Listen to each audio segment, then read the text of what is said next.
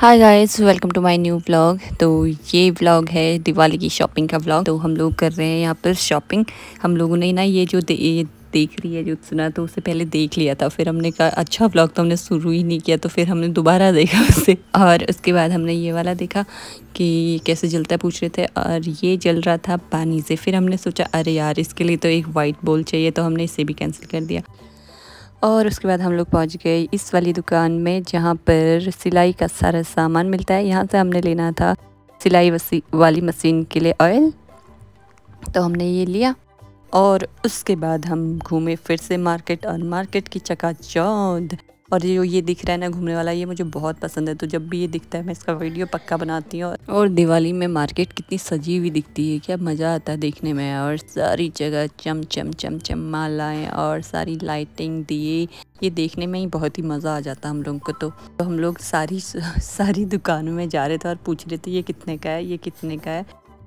हमको ना बस सारी दुकानों में जाने का बहाना चाहिए था कि कहीं पे हम दिए पूछ रहे हैं, कहीं पे हम लाइटिंग्स पूछ रहे हैं, कहीं पे हम मूर्ति पूछ रहे हैं, कहीं पे हम कुछ पूछ रहे हैं, बस जा रहे हैं, हर दुकान में जा रहे थे मगर। ये दुकान ऐसी थी जिन्होंने हमसे पूछा कि ये ब्रश यूज़ कैसे करते हैं, बता दो प्लीज़ कि ताकि वो अपने कस्टमर को बता सकें।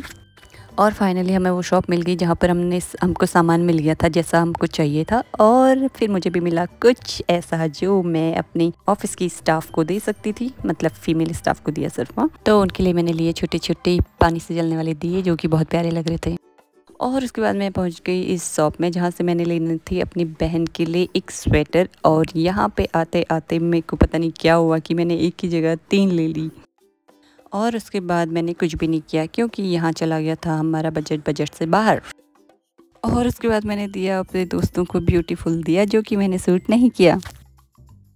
तो गई शॉपिंग के बाद ही कहा पहुँच गई, ऐसा आपको लग रहा होगा ना। उसके बाद मेरे कुछ भी सूट नहीं किया। तब मैं जा रही हूँ हल्द्वानी क्योंकि मेरे भाई बहन मम्मी पापा हल्द्वानी गए तो फिर मैं भी वहीं जा रही हूँ मैं पहुँच चुकी हूँ घर।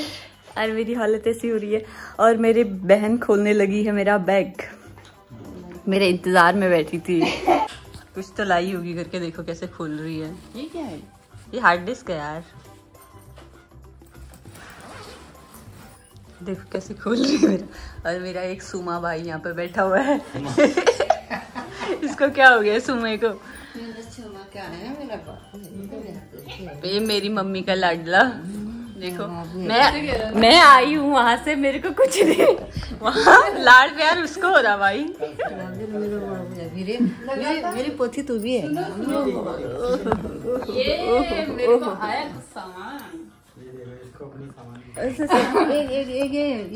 ये देखो मेरी मम्मी को। ये ये कैसे ड्रामे है मम्मी के मम्मी भैया आया? दोनों मम्मी पापा आ गए चार बजे वहाँ उसको प्यार करने के लिए। और चार बजे फिर पता नहीं चला इन लोग को ये आया क्योंकि चुपचाप आया था। और फिर क्या बोलते चार बजे से अभी कितने बजे तक वहीं सोए रहे? सुबह तक। और हाँ। ये आप भी थे पापा उसमें। आप भी थे। ये ये कितना वो करती है ये? ये ये आया। उसके लिए ढूंढ रही है ये देखो। माय गॉड ये तो बहुत ही प्यारा है यार। दो नहीं है एक ही है इसके लिए जो भी यही रखने मेरा है यही मेरा है। ये तेरा है? अच्छा है। जो पसंद आएगा सब मेरा है। ये? जीतेगा क्या ये जीते के लिए कुछ नहीं आएगा। क्यों तेरे लिए है क्या? सारा तेरे लिए लाऊं भैया के लिए ना लाऊं कुछ? जीते के लिए? और? ये इसको फिट ही नहीं आ सकता इतना छोटा। इसने तो कहा यही यही ला। और मेरे भाई ने मेरे बैग से कब फ़ोन निकाल दिया पता भी नहीं चला। बोल रहा है ये आप दोनों के लिए।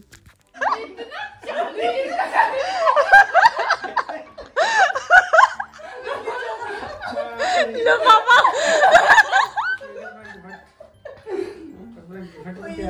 मैंने पता क्या कर रहा है ये यार कुछ आया मम्मी पापा लो।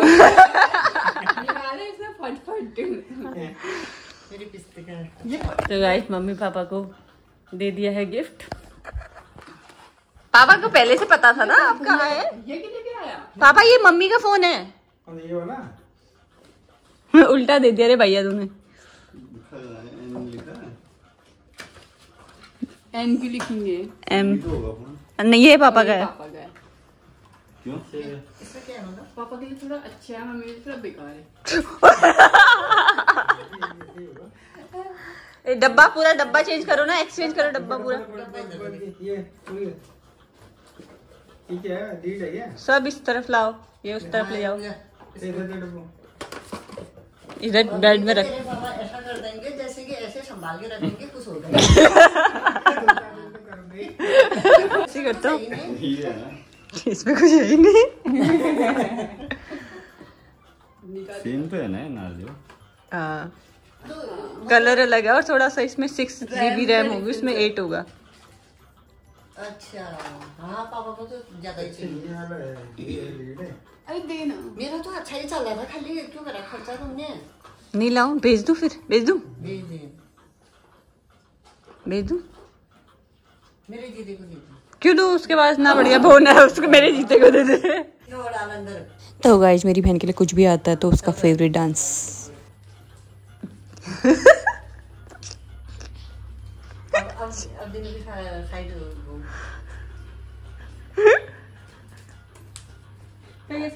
दिखा दो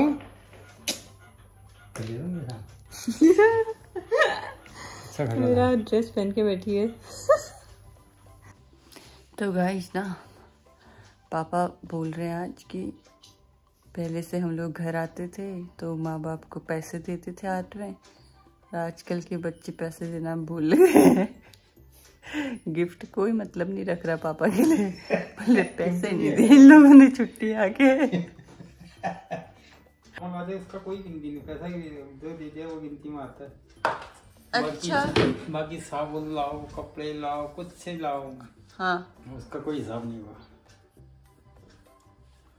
इससे अच्छा पैसा ही ले आती यार वो बड़ा बड़ा दिखता मोबाइल तो दिख ही नहीं रहा पापा को। हाँ? हैं, वही ठीक था। अगली बार से ऐसे ही करना है, पापा। अगली बार से पापा लोगों के लिए गिफ्ट नहीं आएगा तो पैसा आएगा। ये तो गिफ्ट की कोई वैल्यू ही नहीं मान रहे। तो गाइस ये वाला व्लॉग मैं यहीं समाप्त करती हूँ और मिलती हूँ नेक्स्ट व्लॉग पे ओके ये वाला बहुत लंबा व्लॉग हो जाने वाला है, वरना, क्योंकि ये पिथौरागढ़ से चला आ रहा है और हल्द्वानी में आके ख़त्म कर रही हूँ। तो अब नेक्स्ट व्लॉग में मिलूँगी। माजी से पापा के साथ। अब सारे ब्लॉग मेरे पापा के साथ होंगे।